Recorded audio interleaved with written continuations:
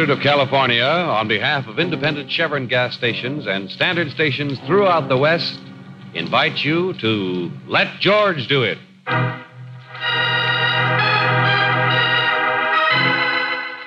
Stranger Than Fiction, another adventure of George Valentine. Personal notice danger's my stock and trade. If life's twisting you like a tornado and you want out, you got a job for me, George Valentine. Write full details.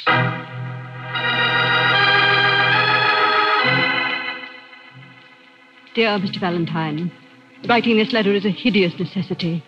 But a rival has come into my life, or I should say, this woman has come back into my life, and in such a way as to cause me the kind of humiliation I will not tolerate. You may have read my husband's best selling novel, The Awakening. Everyone else seemed to have. Well, I must know whether this particular woman is or is not the heroine of this tale of passion. This should be an easy enough assignment for you. Please call me at my home so we can arrange an immediate appointment at your office. Sincerely, Victoria Beasley. Hmm.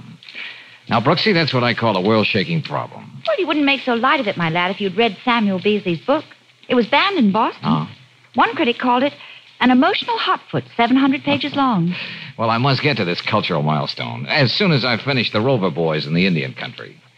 Right now, I'm going to call Mrs. Beasley.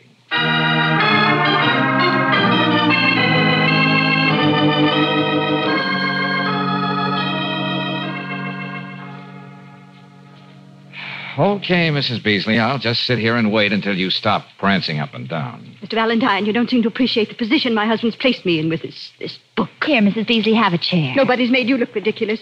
Friends don't snicker and whisper behind their hands every time you pass. Look, please. so lady. you can sit there with that superior smirk on your face. Well, if I'm smirking, it's because I'm trying not to laugh out loud. I didn't come here to. With someone like you, Mrs. B, I've got to say what I mean to make a dent. Oh, Brooksy, you read the society columns. Oh, sure. A girl's got to be improving her savoir faire, you know. All right. Now, how is Victoria Beasley usually described? Uh, this time without the routine. Really now, Mr. Valentine. Well, without the routine. Victoria Beasley, glacial beauty, wondrous wit, soul of poise. Please. Evoked an almost audible gasp of admiration when she arrived at the Duchess's party, late as usual. I'm leaving. Now, wait, wait, wait a minute. Won't you admit this does call for a laugh? A woman with all those assets getting green eyed over a fictional gal her husband dreamt up in a novel? Sam is a broker, not a writer. Oh, say that about Samuel Beasley on a quiz program, and the man will come up with, ah, too bad, better luck next time. I cured him of all his literary pretensions ten years ago when he married me. Lord knows where he found time to write this book. He did it out of sheer malice. You mean you thought you had a colorless milquetoast character for a spouse, and now he's the pop of a bestseller, stealing all the limelight from you? No, that's not it at all. Then what is it? The Diana in Sam's book actually exists. Everything that happened between her and the hero actually happened. Almost every critic said it has the ring of truth. oh, well, that doesn't mean that... The whole situation. A community like our own, Deer Lake Park. The description of Diana. The cold, distant wife who didn't know what was going on. Hmm, the glacial beauty, huh? You sound as though you knew the heroine. I think I do. And that's where I need your help, Mr. Valentine. Well, look, haven't I tried to explain? so many that- things are so very clear now. For instance, every Thursday for the last year, Sam's received a telephone call at 5.30. He's always made a point of answering it himself. well, does it have to be another woman? It could have been his bookie. They're very punctual, too. Once I reached the phone before he did. The party hung up. I'm sure it was a woman. The woman. You recognize the perfume, no doubt. Let me finish. Every Thursday night, he's made an excuse to go into town and never once mentioned what he did. Well, of course, you keep Sam informed of all your moves. That's aside from the point. Your commentary doesn't interest me. I just want you to find out if Diana in Sam's book is or isn't Peggy Wilkinson. And who's that lady? Her family has the estate next to ours at Deer Lake Park. She's always loved Sam. Probably would have married him if I hadn't come along. You mean except for the last year, Peggy's been content to forget, if not forgive. Peggy's the kind of girl who's willing to wait things out. She makes a career being naive, wholesome, and athletic. And you think she's the Diana in The Awakening? You may have seen Miss Wilkinson in the Sunday supplements. She's always carrying not one, but six tennis rackets. Say, tell me, Mrs. Beasley, what's it going to do for your pride to find out if all this is true? Or is it a little feminine mayhem you have in mind? What I have in mind is none of your business. Question is, are you interested in a flat fee? Oh, excuse me, will you? Valentine. Oh, yeah, Riley. Oh, what's on your mind, Lieutenant? What? Hey, look, start from the beginning, will you? And this time, stop for the red lights. Huh? Oh, now, wait, I can't answer that. Looks like I'm going to take the case, so I might be violating the confidence of my client. Okay, stop yelling, will you? We'll be right out there. Mrs. Beasley, Yes, do you know a man named Michael Waldron? I do. And you left my telephone number in case he wanted to get in touch with you? That's right. We were supposed to have lunch in town together today. How do you know? Who was that on the phone? Lieutenant Riley, homicide. What's the tie-up, George? Well, what did he say? Enough to take this out of the class of a family brawl. Mrs. Beasley, somebody tried to kill your husband.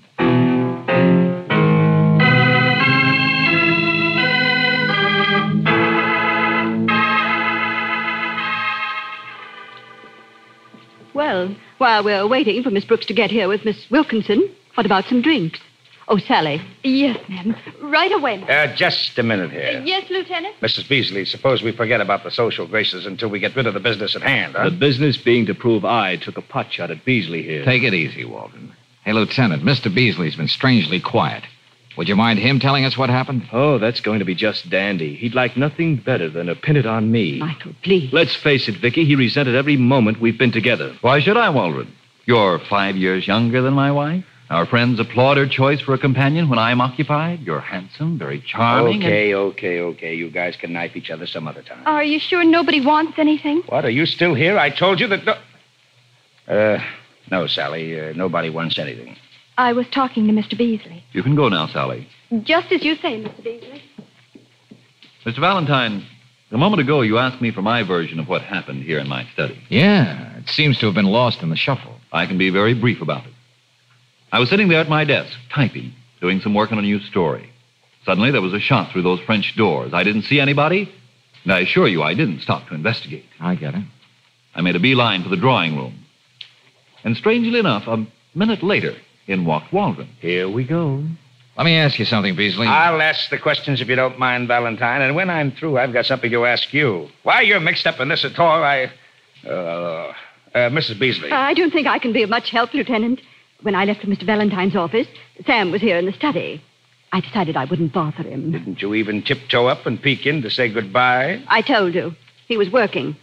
I could hear him at the typewriter. As far as I'm concerned, I was merely dropping by to pick Vicky up for lunch. I didn't even hear a shot. Of course, it might have been one of my readers expressing a critical opinion. Please, Mr. Beasley, don't try to be funny. You know, you people rank pretty high socially in our fair city. That's why I'm here. Ordinarily, you'd have to be a corpse before I arrived. Just one minute, Mrs. Beasley. I'll take that. What do you mean? Whatever it is you're trying to slip into your pocketbook, I'd like to see it. You haven't anything to hide, have you, Mrs. Beasley? Why, no. This is just a. A gold cigarette lighter. Yes. I must have dropped it over there by the doors. I. Very interesting. Initials M.W. Uh, Lieutenant, you needn't look at me like that. It's not mine. Well, well, we'll see about that, M.W. And you weren't supposed to have been here in the study. Michael. Uh, that's all right, Vicky. They can think whatever they want, but they'll never prove anything. I'm sure that's a world of consolation to my wife. Isn't it, my dear? Well, suppose we go uh, back downtown together, Waldron. While we check on this lighter, you and I have a few things to talk about. Why not? Oh, Lieutenant. Yeah? I admit this lighter might point very definitely to Waldron, but it doesn't stop there. All right, all right. Where does it stop? I'll be able to tell you better when Brooksy gets here.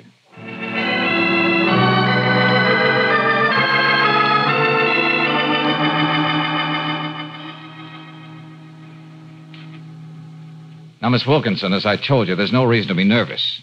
The lieutenant has to ask these questions. But I don't understand.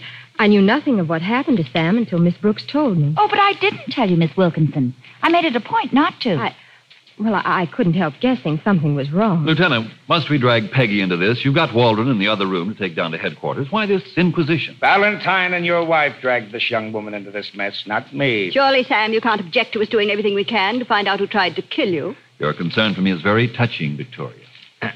Uh, Mr. Beasley, whether you know it or not, your wife has a theory that the heroine of your book is modeled after Miss Wilkinson. Mr. Valentine, that was supposed to be a matter of confidence between us. Attempted murder changes all that. Victoria, you really believe that?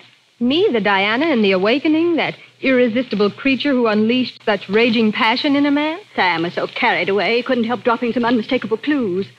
How long has this been going on? Just the last year? Or the whole time we've been married? Now, Victoria, How many people have known it all along? laughing at me. Oh, this is ridiculous. Peggy is the last person anybody would picture as the femme fatale. She's the outdoor type. Much too wholesome for that sort of thing. Just, just to look at her, anybody can tell that. Why stop there, Sam? You with your marvelous knack with words. Why don't you say I'm just about as glamorous as a dish of cottage cheese? I use Lifebuoy in my tub instead of perfume bath salts. The direct opposite of the striking and glamorous Victoria. Uh, just where were you all morning, Miss Wilkinson? I have no airtight alibi, if that's what you mean. I was out horseback riding, all by myself. Ah, look, look, let's stop uh, sparring, huh? Now, look, Valentine, you said you were going to pull some kind of rabbit out of the hat. Well, come on, come on, let's have it. Okay. Do you happen to own a cigarette lighter, Margaret? I, well, yes. I didn't know there was any law against that. Could this be it? The initials MW could stand for Margaret Wilkinson, as well as Michael Waldron. Now, while you were out horseback riding, you might have taken a slight detour. And you might have wanted to kill Beasley because he wouldn't get a divorce and marry you. Well, Miss Wilkinson? Very well. Why shouldn't I admit it? It's all true about this morning. And the book. Well, you know what you're saying, Peggy. Yes, and I don't care. Oh, this'll really cause a sensation. The wholesome, colorless Peggy Wilkinson turns out to be the fabulous and much discussed Diana. Oh, and I'll love it. You heard her, all of you. This twee little frump has been making a fool of me. Me. Well, Miss Wilkinson, I guess we'd better get into town. I'm afraid not, Lieutenant Riley, Huh? because I'm not going to press charges. What? George, did you hear the man? Yeah. I came here to make an arrest, and that's what I'm going to do. I refuse to prosecute. As far as I'm concerned, Peggy was out hunting squirrels, and her marksmanship was incredibly bad. I think you're right, Sam. But I don't. I want the world to know that you couldn't hold a man, Victoria. and of all things, you lost him to me. I think that washes everything up, Lieutenant. Thank you very much for your trouble. If you were anybody else, Beasley, I'd, I, I, I'd... I'd better get out of here before I lose my. Peggy, I'd better take you home. Oh, yes, Sam. Victoria, you'd better go and reassure Waldron that he's a free man. I'll do that, Sam. I'll be right back, Mr. Valentine. Yeah. Well, where does that leave us, George? I don't see any point in hanging around now. Oh, a very important point, Brooksy. A particularly fat and juicy bill. Oh. Doubt what she wanted to know. So, sit down at the great author's typewriter and make it out. Okay. What amount shall I make it, George? Oh, I, I beg your pardon. I, I was looking for Mrs. Beasley. Uh, this is my day off. I, I was just leaving. Mm. Well, so long, Sally. I, uh, I I was in the next room before. I couldn't help overhearing Mrs. Beasley say Mr. Beasley was using the typewriter when she left this morning. So? The reason the typewriter man was here was to bring this this new machine. Goodbye, Mr. Valentine. George. Yeah, Brooksy. This is a noiseless machine. Then she couldn't have heard it. With the doors of the study closed. Now, why did she lie? You mean Victoria took a shot at her husband and then came to us? Oh, but why would Peggy? I don't know, Angel. I don't know. But unless I have the proud Victoria sized up all wrong, the lady is still out to do murder.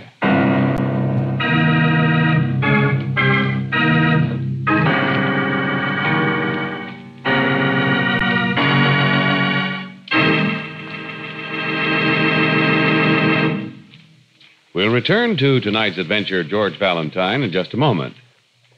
You like your car. Probably everybody in your family and most of your friends like it. But there's someone who doesn't like your car, and his name is Old Man Rust. He's most destructive when your car is standing idle for long hours.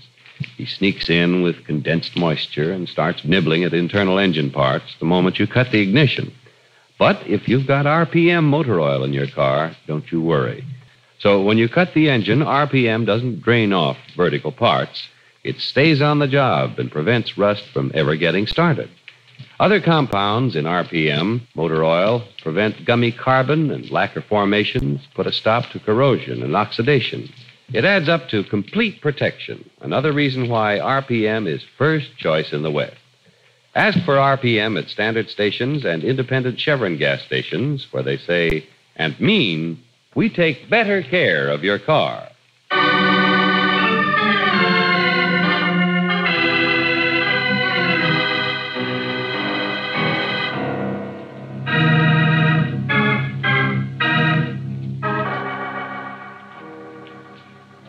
And now back to tonight's adventure of George Valentine. A marble cold society beauty, Victoria Beasley by name, who'd rather die than be humiliated, hires you to prove that the heroine in her broker husband's sensational first book is a former sweetheart of his, Peggy Wilkinson.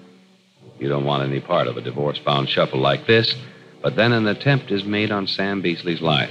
Said Peggy takes the blame, and the wife trips herself up with a stupid, needless contradiction, which seems to give the lie to Peggy's confession. All of which sends you, George Valentine, into frantic action to prevent another try at murder. George, what are you going to do? Find Victoria.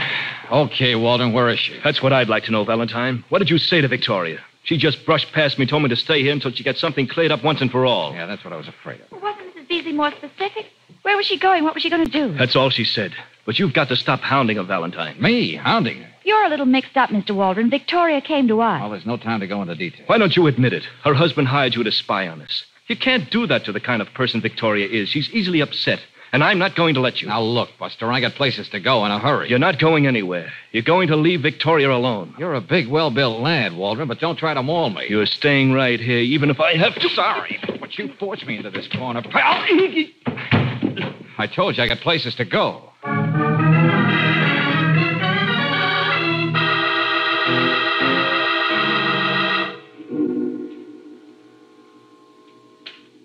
Keep looking around like that for help, Peggy. I waited till Sam left so I could be alone with you. I'm here to kill you in your own house. Victoria, put that gun away. You don't know what you're doing. Oh, yes, I do. In the presence of others, you admitted that you came between me and my husband. It was you who were phoning every Thursday at 5.30. The other details are all there for the whole world to read in Sam's book. No, Victoria, no. No jury will convict me for trying to protect the sanctity of the American home. Now, listen to me, Victoria. Instead of being a laughingstock, I'll be a heroine, a noble figure. That's something I never could stand for, being laughed at. I'm willing to do anything to put an end to that. You've got to believe me. I lied to that lieutenant. I didn't try to kill Sam, and I'm not the Diana in his book. Do you expect me to believe that? Well, I said it only because I'm human. I'm tired of being the dowdy thing that I am. Can't you understand what it would mean if people thought that I had all the glamour that you have and more? I haven't been waiting around for ten years to get Sam. Sorry, Peggy. I'm all through talking. I'm sorry about this. Oh, oh, oh did Why, you? She, she was going to kill me. It's all right now, Peggy. Your wrist will hurt for a couple of days, Mrs. Beasley, but you're lucky to get away this easy. Well, I get on my knees and thank you most humbly. No. No, and you better not bother picking up that gun either. I'll just take that. Where did you get it anyway? It's Sam's. I took it from a drawer in his shipper over. I see. Okay, come on, Mrs. Beasley. You too, Miss Wilkinson. Where are we going? Right back where we started. Who knows? If I'm lucky, I may come up with another rabbit out of the hat.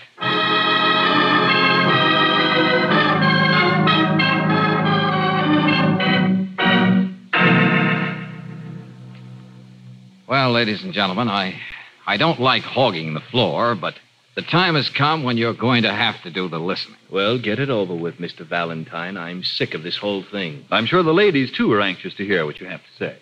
Well, you should be more than anxious, Mrs. Beasley. You should be shaking with fear over what you might have done today. You mean committing murder? I had every intention to. Victoria, you can't go on feeling that way about me. I told you you're all wrong. Stop sniveling, Peggy. You're safe. I doubt if I could work myself up to the same fever pitch again. Oh, now you're just being an old softy, Mrs. Beasley. What I meant to say is that if Miss Wilkinson is right, you would have killed the wrong woman and paid for it with your life. I'm just as sure as ever that she's the Diana Sam wrote about. And about that attempt on your life, Mr. Beasley. Oh, yes, we mustn't forget that. If Miss Wilkinson has recanted her confession and Waldron here is staunch in his denials, I certainly am. that leaves only you, Mrs. Beasley. Oh, you placed much too much importance on my hearing Sam's typewriter. I only said that to make my story sound more convincing. I didn't want to be implicated in something I had nothing to do with. Well, it seems we're right back where we started from, with a full blown mystery on our hands. Maybe it would be best just to forget it. I don't know about that. I... Stay where you are, Victoria. No, I'll answer that, Mr. Beasley. Oh, yes, but I. 5.30. Thursday. Same call, same time, every week. Yeah, the other woman. Hello? Is that you, Sam? No. No, but I've got a question for you, lady. Oh, Oh, dear Lord, what I almost did. Yes, Mrs. Beasley. There is a real life Diana, and that was she on the phone. Okay, okay who is she, Beasley? If a writer learns nothing else, he learns the value of confounding and bewildering the reader. That's the way I choose to leave it now. Oh, Peggy, I couldn't help believing what I did. And if Mr. Valentine hadn't Oh, Brooksy, stopped me, I would. Yes, George. Oh. Get on the phone and tell Riley to get back here. Oh, he's going to just love that. Well, it's only right that he should be in on the payoff. Same rabbit in the same hat? Nope. Nope. You've heard about how those long eared critters increase and multiply. Well, at this point, there's a whole slew of the little beasties. Huh? In other words, Angel, now we've got all the answers.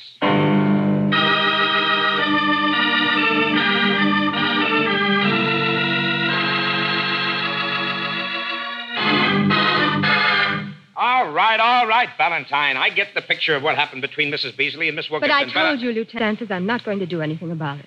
Awakening. Certainly, under the circumstances, I'm not going to do anything about it. Oh, oh, most certainly. There have been two murder attempts, and we're supposed to just laugh it off, huh? Lieutenant, do I still have to hang around here? As far as I'm concerned, you can drop. Surely, Waldron, you don't want to miss the exciting explanation Valentine's promises. Yes, why don't you say something, Mr. Valentine? What have you got on your mind? I don't think you can stall much longer, darling. Okay. Okay, I admit I have been stalling. But for a very good reason. Still, if the time has come. Beasley, Hmm? you staged this whole business. Nobody tried to kill you. What? You fired that shot through the French doors.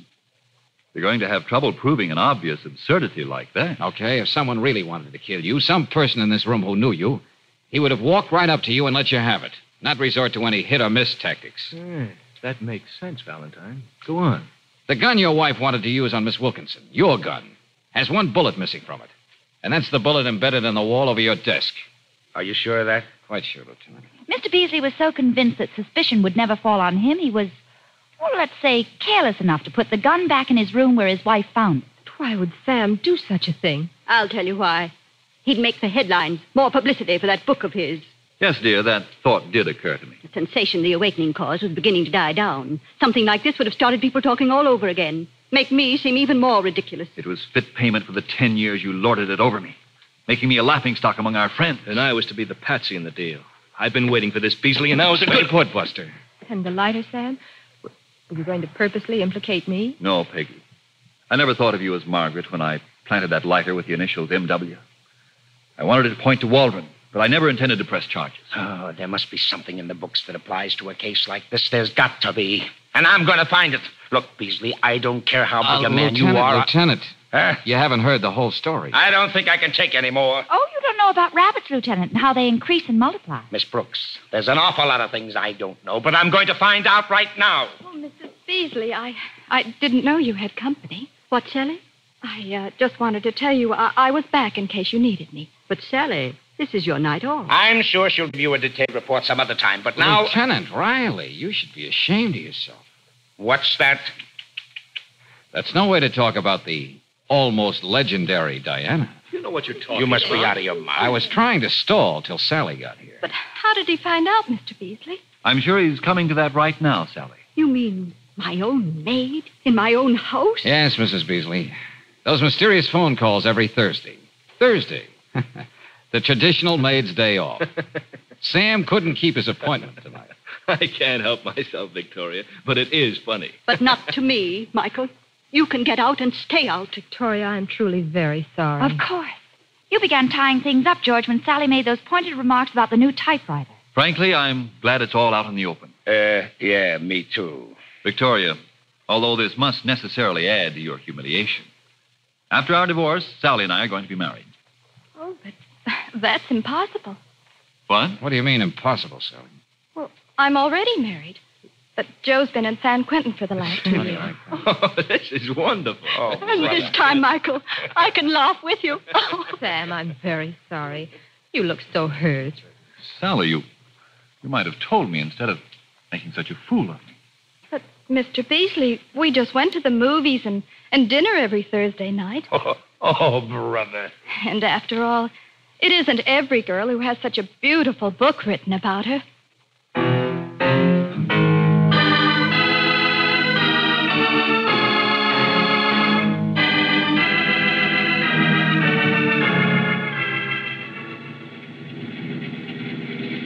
Oh, I don't know, Riley.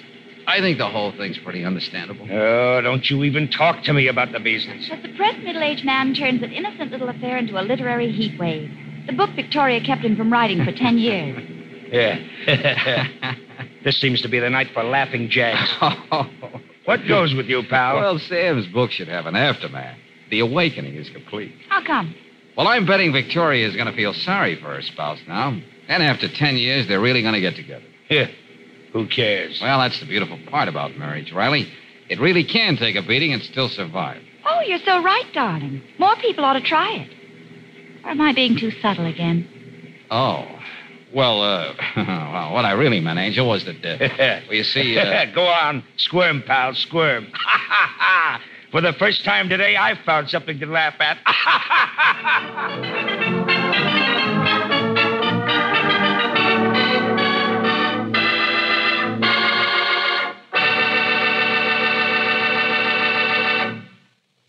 If you want to be off to a good start, a fast start, every time you use your car, just make sure it's Chevron Supreme gasoline you've got in the tank. This premium quality gasoline turns the engine over the moment you press the starter. Gives your car faster warm up, too. More pep in traffic, a new ping free power that lifts your car over the hills. Try Chevron Supreme, and you'll agree it gets the best out of your car. Another thing, it's climate tailored. In each different temperature and altitude zone of the West, count on Chevron Supreme for your car's best performance the year round. For today's high compression engines, you just can't buy a better gasoline. So why not try it tomorrow? Get Chevron Supreme at standard stations and at independent Chevron gas stations where they say and mean we take better care of your car.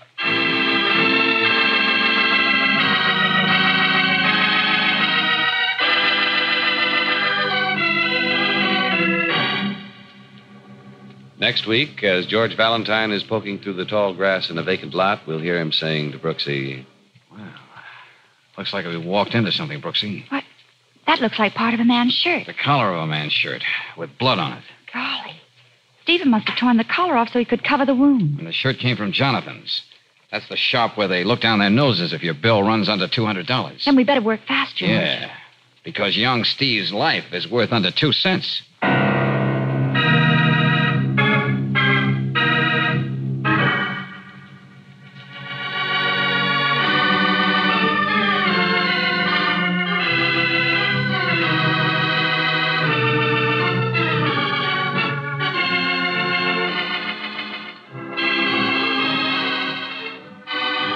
Tonight's adventure of George Valentine has been brought to you by Standard of California on behalf of independent Chevron gas stations and standard stations throughout the West. Robert Bailey is starred as George with Frances Robinson as Claire. Wally Maher appears as Lieutenant Riley. Let George Do It is written by David Victor and Herbert Little Jr. and directed by Don Clark. Also heard in the cast were Lee Patrick as Victoria, Frank Martin as Sam, Peter Leeds as Waldron, Mary Shipp as Peggy, and Bernice Barrett as Sally. The music is composed and presented by Eddie Dunstedter. Your announcer, John Heaston. Listen again next week, same time, same station, to Let George Do It. This is the Mutual Don Lee Broadcasting System.